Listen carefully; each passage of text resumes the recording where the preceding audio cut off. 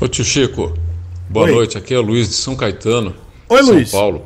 Oi, Luiz. É, a minha pergunta, minha dúvida, assim, é sobre a Bajaj a dominar 400 com esse preço que está sendo um preço muito comentado por todos aí, preço de mercado aí que realmente das motos que estão aparecendo aí é uma que acredito que vai dar um pouco de, de trabalho para a concorrência, né? Já tá dando. Principalmente para a Hunter, a Hunter 350, que é outra que vai estar chegando aí, que já foi, parece que bastante adiado da data que Sim. falaram que já ia estar disponível, né? Então, é isso que eu estou pensando. Como é que vai ficar a situação da, da Royal aqui com uma Dominar, uma moto dessa aí, nessa faixa de preço que não vai chegar, eu acredito que não chega nem nos 27 mil, uma moto dessa, 25. já com, com, com frete, tudo, né?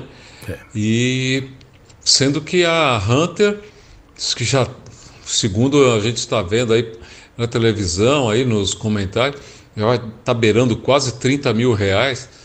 Como é que vai estar se comportando o mercado entre essas duas aí? Será que vai encalhar a Hunter? Ou será É, tá que a boa. Dominar vai acabar tendo uma procura mais alta e, consequentemente, tendo um aumento? Essa é a minha pergunta. Obrigado. Pergunta deliciosa. Pergunta de ouro. Pergunta de milhão. Se bem que não, né? Que a gente vai saber já já quanto é que vai custar a Hunter. É o seguinte, Luiz, um beijo pra você. Um beijo pra galera aí de São Caetano do Sul, São Paulo, galera toda de São Paulo. E por sinal, São Caetano do Sul é uma cidade linda, viu? O pessoal da Rosarte, um beijo aí, galera da Rosarte, que é de São Caetano do Sul. E aí ó, é o seguinte, Luiz. A Royal, ela tem que acordar pra vida né, a Royal Brasil. Os concessionários, pelo menos os concessionários do Sudeste, São Paulo. Eu não vou falar do Sudeste não, porque tem concessionário que não é de São Paulo que não está conseguindo colocar, eu estou sendo até sendo bonzinho, né? Não está colocando um preço legal.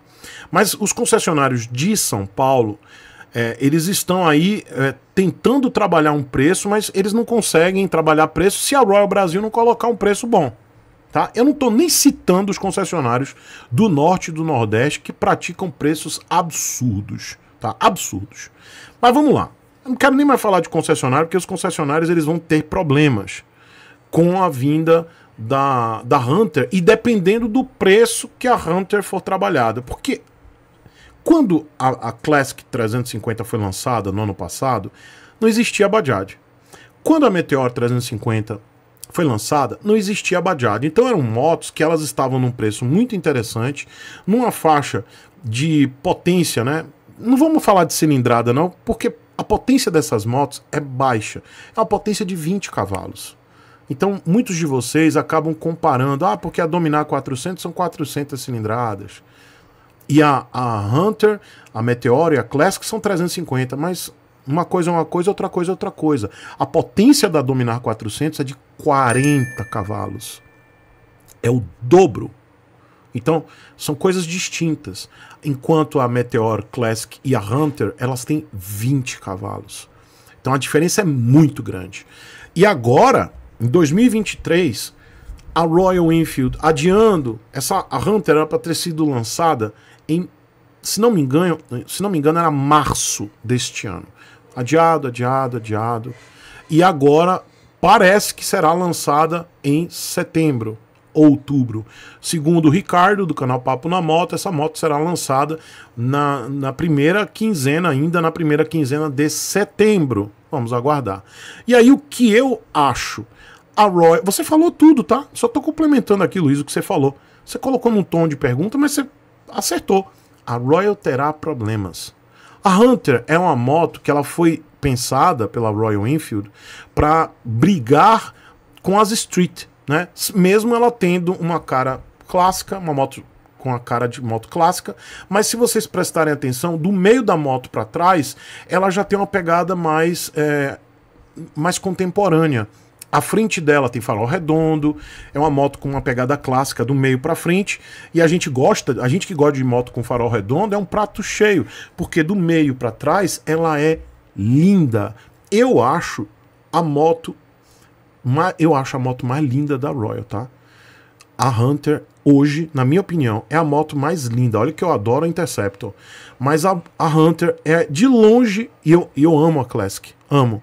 Mas olhando a Hunter, ela atende ao público mais jovem, que quer uma moto com uma pegada mais street, mais contemporânea, e também ao público que gosta de moto com farol redondo, que são os coroas ou a galera mais jovem que também gosta dessa pegada. Então a Hunter, ela acaba acessando esses dois públicos e eu acho linda.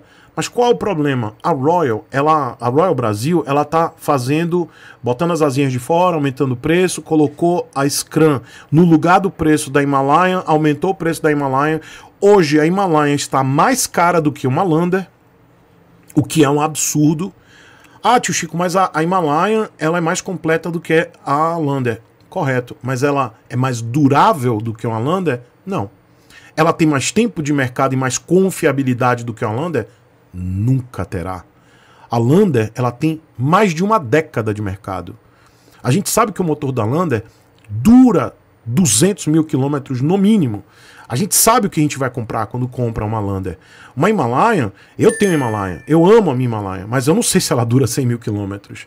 É uma moto completa? É, tem ABS nos dois canais, tem aerokeep, confortável, maravilhosa.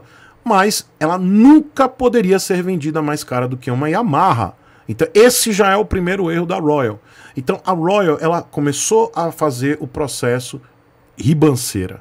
O meu medo é ela colocar a Hunter num preço de 23, 24 mil reais e subir a Classic, subir a Meteor e fazer cagada e não vai vender. Por quê?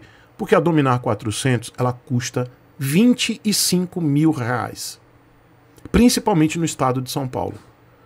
Obviamente, as pessoas vão olhar para Hunter vão achar linda. É linda. Inclusive, ela tem alívio de peso, ela vai ter um motor de 20 cavalos, mas ela vai ser muito mais eficiente, inclusive, do que a própria Classic e do que a Meteor. Então, eu aposto muito na, na Hunter como uma moto, é, a moto coringa da Royal Enfield. Então, isso aqui não é uma crítica à moto em si. É uma crítica à política de preços da Royal Brasil. Ponto. Porque a Hunter, ela deveria ser a moto mais barata da Royal e a moto mais competitiva da Royal mediante os seus concorrentes. Isso não vai acontecer por uma política de preços da Royal Brasil. E isso vai afetar, sim, as vendas da Royal a partir de agora. Porque a Bajaj chegou com três modelos, sendo que a sua moto de 200 cilindradas tem 24 cavalos e custa menos de 20 mil reais. É uma moto que completa. Só não tem ABS nos dois canais. Ela tem ABS só na dianteira. Isso é ponto negativo. Mas ela tem 24 cavalos. Enquanto a Hunter, a perspectiva dessa moto é chegar entre 22 e 24 mil reais. Aí o cara vai pensar assim, pô, velho, eu vou comprar uma Dominar. Tudo bem que a Dominar ela não tem pegada clássica, nada. Mas o cara vai pensar assim, pô, é uma monocilíndrica. 24, 20 cavalos ou uma de 40 pelo mesmo mesmo preço, ou eu vou botar mais dois mil reais em cima. Pô, eu vou para de 40 cavalos. Então a Royal, ela precisa acordar, ela precisa entrar no jogo, ela precisa realmente entender que a Bajaj chegou, tá incomodando a Honda nos seus... Onde a, a Bajaj, ela entrou com o concessionário, ela está fazendo a diferença. A Bajaj ainda não está fazendo diferença nacionalmente porque ainda é muito pequena, mas onde ela entrou e botou concessionário, a Royal perdeu vendas, a Honda de certa forma perdeu algumas vendas, mas principalmente a Royal Enfield tem perdido vendas. Então, eu espero que a Royal lance a Hunter realmente com preço competitivo, senão vai flopar.